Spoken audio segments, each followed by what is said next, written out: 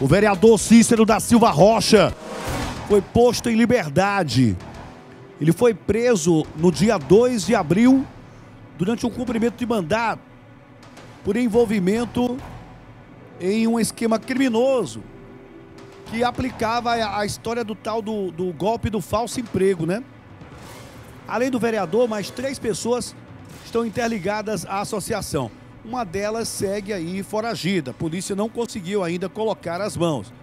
Mas o vereador foi posto em liberdade. Vamos acompanhar aí a matéria do Tony Black, olho de águia, voa alto, pia e amostra e habeas corpus dele. Vai!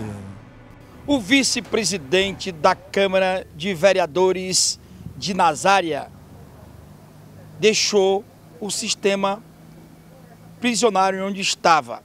A prisão dele foi efetuada no dia pelo delegado Odílio Sena. Delegado, o vice-presidente está nas ruas. Como é que o senhor vê a soltura dele? Bom, é, infelizmente a lei, a lei traz essa prerrogativa. Eu particularmente, eu não, eu não é porque é o, é o vereador ou é o, é o gari, o, o, flanelinha, não interessa. É, o que está na lei é aquilo ali, é a questão do, da residência fixa, de, uma ocupação lícita e de que ele tá, estaria envolvido, pelo menos a princípio, só nessa situação pelo menos a nível de justiça, a nível de procedimento, entendeu? Então, assim, eu particularmente, é, é uma decisão, é uma decisão do, ju, do juiz, o juiz entendeu dessa forma, o Ministério Público entendeu dessa forma, os requisitos foram, foram preenchidos, não tem porquê eu, Odilo Sena, é, na condição de delegado, hoje eu estou afastado por uma questão da, da, da lei eleitoral, mas como, como, como jurista, entendo que foi uma, uma, é uma decisão, apesar de eu não concordar, é uma decisão razoável, dentro da lei e que deve ser totalmente cumprida. A prisão dele, na realidade, foi baseado no quê? São vários depoimentos de testemunhas que o apontam, pessoas que o conhecem, pessoas que conheceram durante aquele, aquele, aquele, aqueles fatos que se delinearam até a, a situação de prisão.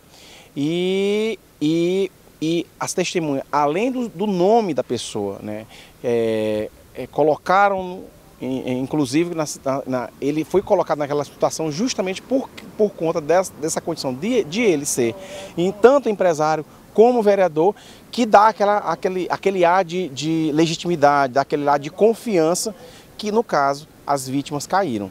As vítimas não, são, não é a polícia, não é o Ministério Público, não é o Judiciário. São as vítimas que apontam a pessoa do vereador como um dos envolvidos nesse esquema criminoso. Agora, ele vai responder tranquilamente, vai ser, vai ser indiciado, quem vai, vai concluir o, inquérito vai ser outro colega, mas praticamente já está formado, a, o indi, a, vai, vai Foi haver... feito tudo dentro da lei? Tudo dentro da lei, vai haver um indiciamento de quatro pessoas, um outro inquérito futuramente, não sei se por mim ou por outra pessoa, depois desse período eleitoral, vai ser reaberto, porque há indício de envolvimento de mais três pessoas. Inclusive, essas três pessoas estariam é, em fuga por outros crimes, juntamente com o Danilo. A gente já, já recebeu essas informações. Não foi o vereador que repassou isso para a gente, mas a gente vê nas esquinas, conversa de vai e vem, diz que vai ter uma reviravolta no caso. O senhor acredita? A reviravolta é só, que eu saiba, é só um indiciamento, que vai ter o indiciamento desse, do, do, do, dos quatro envolvidos, né? Porque ele é vereador. Pouco estou me lixando para se, se, a pessoa é vereador, se é fulano, se é ciclano. Não é o trabalho da Polícia Judiciária, o, que, o problema é a autoria. A autoria é, fulano. Materialidade e circunstância. O que importa para a Polícia Judiciária é isso aí. O, o, segundo ponto que a gente tem que pensar é, é na questão da, do, do, indiciamento e na questão de outras pessoas envolvidas, como eu acabei de falar. E tirando isso, o resto a, a, a Polícia Civil tira de letra.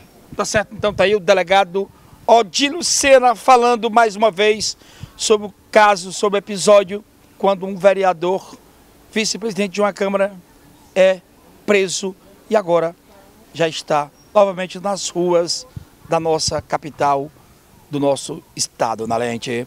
Então, na tela da TV Antena 10. O delegado aí tá certo. Esse delegado ali é, é linha dura, ele. Ele diz que tá pouco se lixando se o cara é vereador, se ele é deputado, o que ele for, não adianta. Ele tá vendo o processo dentro da lei. Materialidade, né? As circunstâncias e a comprovação do envolvimento ou não. Isso aí quem vai dizer é um delegado. Posto que ele está em liberdade, mas que continua a responder pelo processo no qual ele foi incluído como participante de uma organização criminosa. E tem um foragido. Então o que vai dizer aí é, o, é, é a justiça, vai ter que apontar os fatos, o inquérito vai ser enriquecido e vai se apontar os fatos, os fatos de acordo com aquilo que a lei pede, né? E a materialidade coloca e as circunstâncias observam. E aí o Ministério Público não brinca, né? Tasca lá, viu, Maria? O Ministério Público bota, não, fulano está sendo indiciado por tal formação criminosa, dizia não sei o que, sei lá. É que vai dizer aí é a justiça. Vamos aguardar, vamos aguardar. O fa... menino, o negócio é não se envolver com o que não presta. O negócio é procurar fazer igual o trem, andar só na linha.